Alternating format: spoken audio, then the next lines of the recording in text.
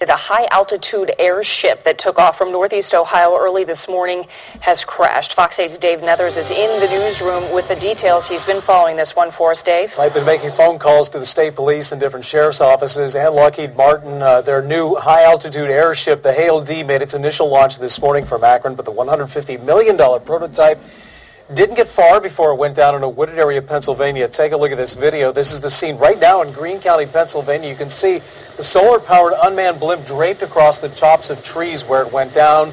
The Hale D has a high-altitude blimp that has, was built in Akron. It's a project involving a Lockheed Martin and the U.S. Army. It was expected to stay at altitudes above 60,000 feet for an extended period but it came down less than three hours after it launched this morning. These photos uh, that you're about to see were taken as the Hale D was launched at sunrise this morning, about 5:47 a.m. from the Akron Air Dock. Lockheed Martin saying there was a problem that prevented it from getting to its target altitude, and so a decision was made to end the flight and make a controlled descent into a non-populated area.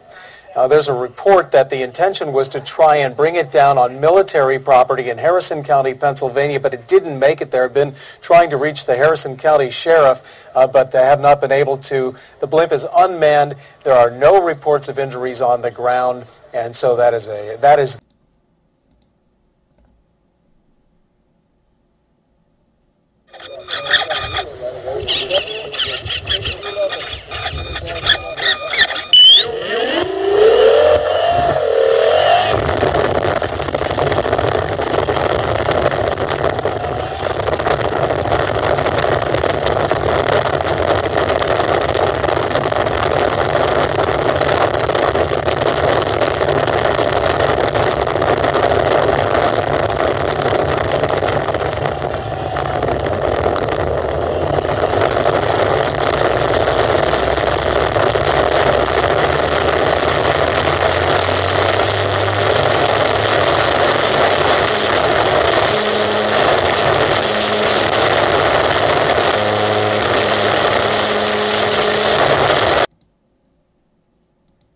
Welcome to America.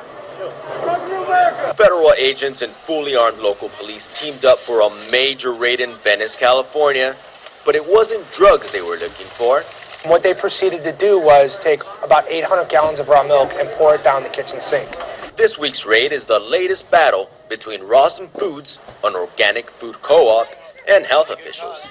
The Food and Drug Administration says that they are protecting people from the health risks of drinking unpasteurized milk. But members of Rawesome sign a waiver saying they'll take that risk. Raw milk doesn't have lactose intolerance, it doesn't have allergies, where pasteurized milk has lots of lactose intolerance and lots of allergies. Despite that, the operator, James Stewart, and two others were arrested and are facing several charges, including conspiracy and processing milk without pasteurization. This extensive search warrant shows that investigators have been keeping a very close eye on Rawesome for the past year. It's an investigation which has taken up many man hours and plenty of U.S. tax dollars.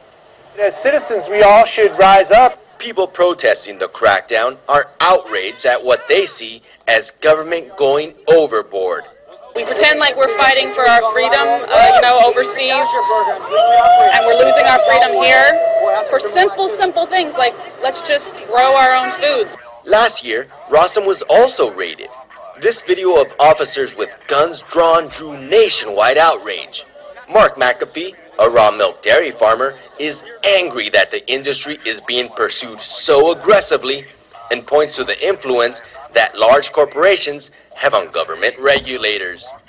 It's not dangerous to the public. It is dangerous to the agricultural interests, that want to capture all the milk and not have anybody drinking uh, anything other than pasteurized milk.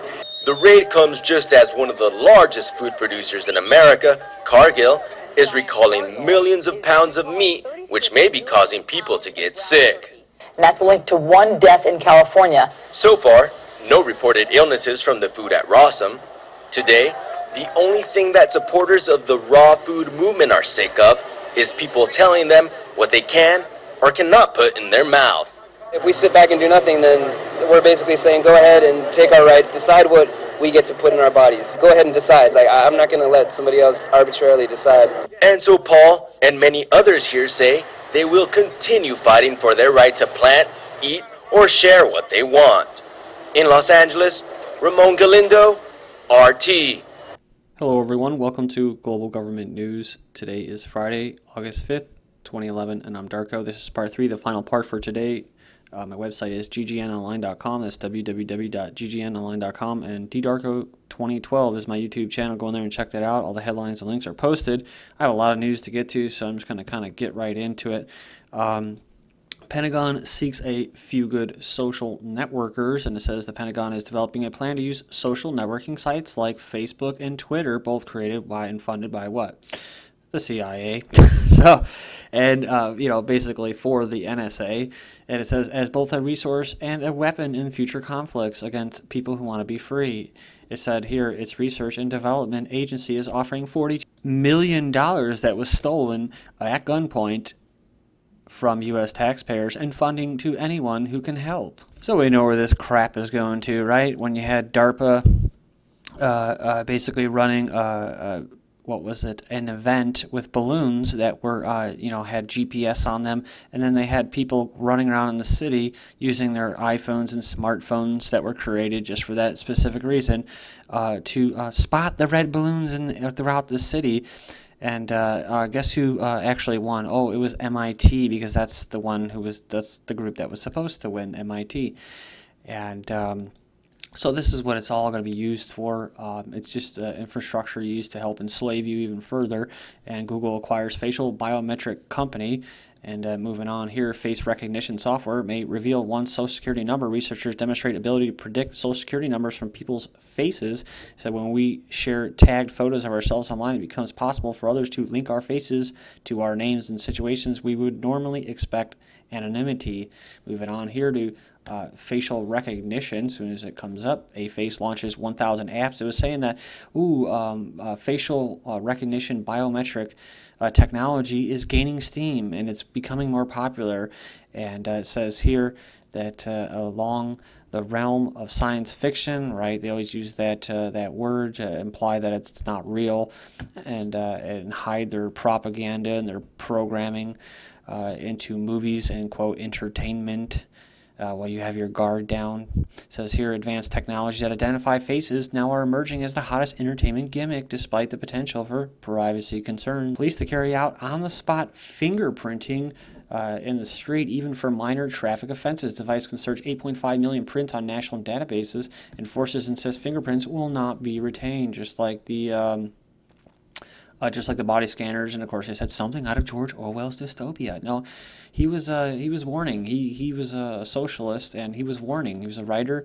Uh, he went with the groups and the meetings uh, back in the day, and he knew what the agenda of the elites was or, or, were, and so he was basically warning people. So it's not fucking science fiction. This is reality, and if you believe that, you need to pull your head out of your ass because it's not a joke anymore. They're coming down hard, man, every day says in fingerprint uh, breakthrough offers new forensic evidence. Technology to extract fingerprints from a crime scene could show if a criminal suspect hmm, has taken drugs or been in contact with explosives.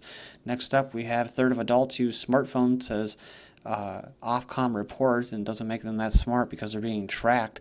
And it says here, Britons addicted to their crackberries, says study when many Britons are welded to their smartphones 24 hours a day and refuse to turn them off in cinemas and theaters, according to a study Thursday showing that the devices are changing social behavior, which is exactly what they were intended to do be extensions of themselves until eventually they have microchips implanted in their wrist and in their forehead.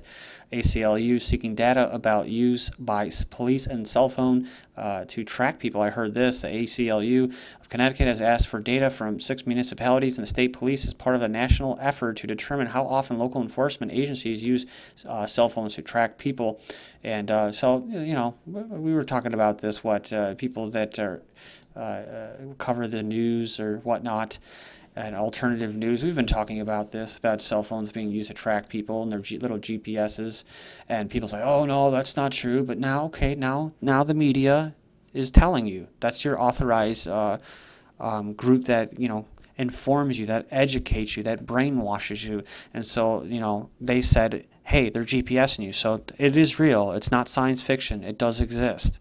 So licensed to grill, uh, it says here down here, it's no longer an invasive pat down. Now TSA agents will have a few probing questions for you in a bid to ramp up security. TSA is enhancing its controversial screening passengers by observation techniques or SPOT to include an Israeli-style interview with travelers in addition to existing measures. And this is all based off what government-sponsored terrorism in order to crack down on patriots anarchists, and anyone that's pissed off at the government, taking away their privileges or liberties. Sorry.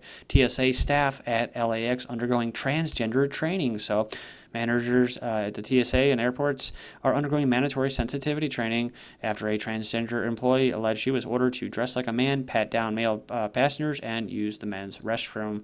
Next up, we have TSA apologizes for con- confiscating pregnant woman's insulin and her ice packs and then next up, we have solar flares may impact communications this weekend, and uh, that means that there's going to be a big HAARP uh, project going on, and I'll get to more of that later. But uh, there's no connection between solar flares and increase in, uh, in the temperature, none whatsoever. It's climate change. It says here, state actor behind slew of cyber attacks. It says security experts have discovered an unprecedented series of cyber attacks at networks of 72 organizations globally, including United Nations, governments, and corporations over a five a year. Then we have six creepy new weapons the police and military use to subdue unarmed sheeple or slaves. And uh, moving on here, we have the first one eventually. The invisible pain ray, the holy grail of crowd control, sounds like a weapon out of Star Wars, and it works like an open air microwave oven projecting a focused beam of electromagnetic radiation to heat the skin of its targets at 130 degrees. Um, next up, we have the laser blinding dazzler, and look at that sucker. I reported on that uh, recently. The taser on steroids with the Albuquerque Police Department now has taser shotguns to keep their slaves in order, calmative agents for riot control, sedative, sleep inducing, or similar psychoactive effects because they care about you. They give so much uh, uh, about you that they're willing to do this to you. Screaming microwaves that pierce the skull. And that's why they uh, try to take raw milk from you, because they care about you. Somali troops open fire on refugees seeking food. Again, political cannon fodder. That's what they are. UNICEF says needs uh, $315 million. Uh, to help children in Horn of Africa. So there you go. Then we have U.S. 29,000 uh, Somali children under five are dead in famine. So it's eugenics do you think they give a shit? No, they don't. They're you. They're you. Then UNICEF. Their job is killing people and social engineering. So it's a it's a progress. It's a success. In Kenya, 14 starved to death. Then Uganda, too many deaths in childbirth. Of course, that's the plan. CIA to UNICEF, Big Aid has very dirty secret from CIA to UNICEF the charge that every person who has headed a major Western aid agency has an intelligence background has been proven time and time again.